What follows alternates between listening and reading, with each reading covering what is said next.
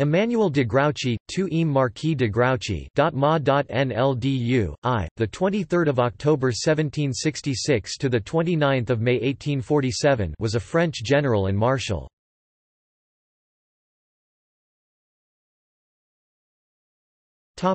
Biography Grouchy was born in Paris, the son of François-Jacques de Grouchy, 1st Marquis de Grouchy born 1715 and intellectual wife Gilberte Freteau de Pény died 1793. His sister was Sophie de Condorcet, a noted feminist. He entered the French artillery in 1779, in 1782 he was transferred to the cavalry, and subsequently, in 1786, to the Gardes du Corps. In spite of his aristocratic birth and his connections with the court as his father, having served as a page, was rumoured to be the illegitimate son of King Louis XV, he was a convinced supporter of the principles of the revolution, and had in consequence to leave the Guards. About the time of the outbreak of war in 1792 Grouchy became colonel of the Regiment de Condé Dragons, and soon afterwards, as a maréchal de camp, he was sent to serve on the southeastern frontier. In 1793 he distinguished himself in La Vendée, and was promoted general de division. Grouchy was shortly afterwards deprived of his rank as being of noble birth, but in 1795 he was again placed on the active list.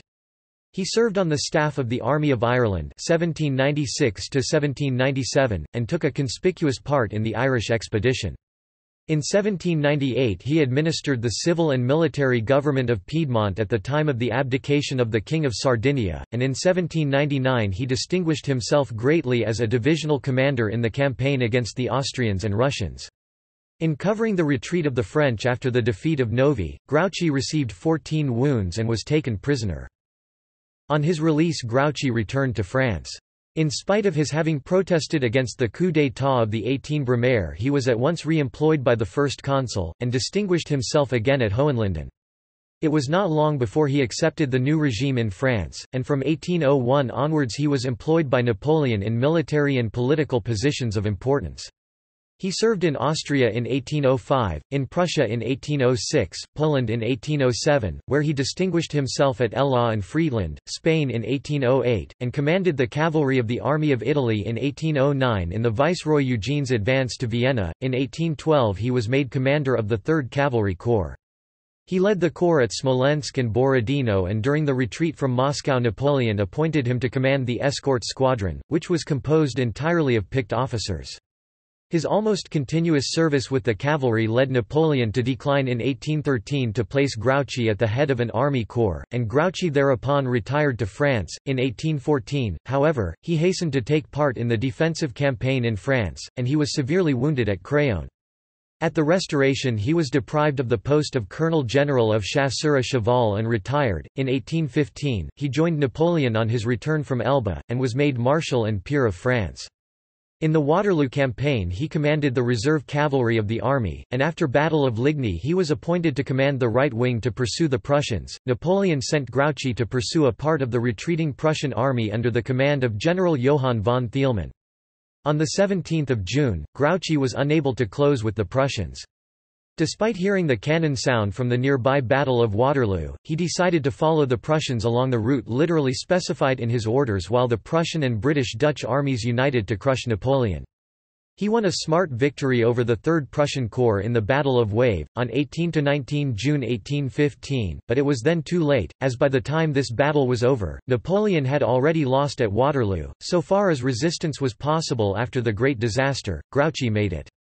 He gathered up the wrecks of Napoleon's army and retired, swiftly and unbroken, to Paris, where, after interposing his reorganized forces between the enemy and the capital, he resigned his command into the hands of Marshal Louis Nicolas Davout. The rest of his life was spent in defending himself.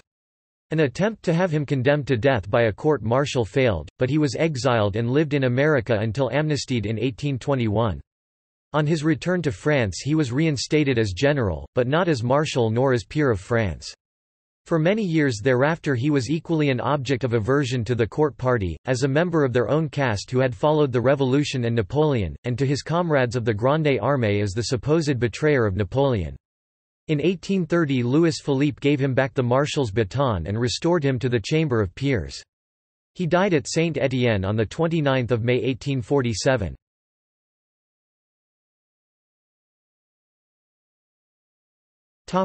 Family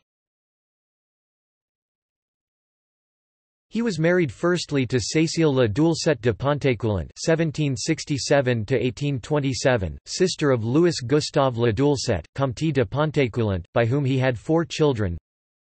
Ernestine (1787–1866), Alphonse (1789–1864), Aimée Clementine (1791–1826). Victor (1796–1864). He married secondly Fanny Hua (1802–1889) and had one daughter. Noemi (1830–1843). Topic: Works.